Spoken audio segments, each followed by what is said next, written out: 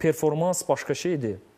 Oyunçunun səviyyəsi başqa anlayışdır. Yəni performans sənin bu günə olan fiziki durumundur, səviyyən isə sənin beynindir. Yəni sənin beynin hansı futbol oynamağa imkan verir. Və performansı məşqlərlə qaldırmaq olur, amma səviyyə yuxarı-aşağı hansı e, yerlərə çatıbsa, artıq bu yaşda odur və Neftçi ilə oyunda Benziyə ortaya bir səviyyə qoydu çox böyük bir səviyyə malik oyunçudur. Onun hərəkətləri ilə, pasları ilə, oyun tərzinə görsən ki, bu adam həqiqətən futbol oynayıb. Bu adam həqiqətən top liqanın oyunçusudur, amma performansını heç cür e, biraz qaydaya gətirə bilmir və bu oyunda buraxdı. Ümumiyyətlə adi iştirak ərizəsində də yox idi.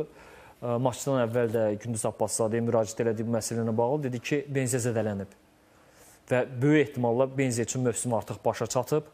20 gün hardasa zədəsi çəkəcək. Bu nədəndir bu fəsadlar? Bunu da demək istəyirəm. Baxın, Diakabi də Benziyada tez-tez zədələnirlər. İkisinin də səviyyəsi var, amma performansı yaxalaya bilmirlər. Çünki uzun müddətdə oynamayıblar. Futboldan xeyli kənar qalıblar. İndi biraz yüklənmə olan kimi dərhal zədələnirlər. Ümid eləyək ki, xüsusən bu yay hazırlıq dönəmini çox yaxşı keçib, növbəti mövsümdən Qarabağa xeyir verər.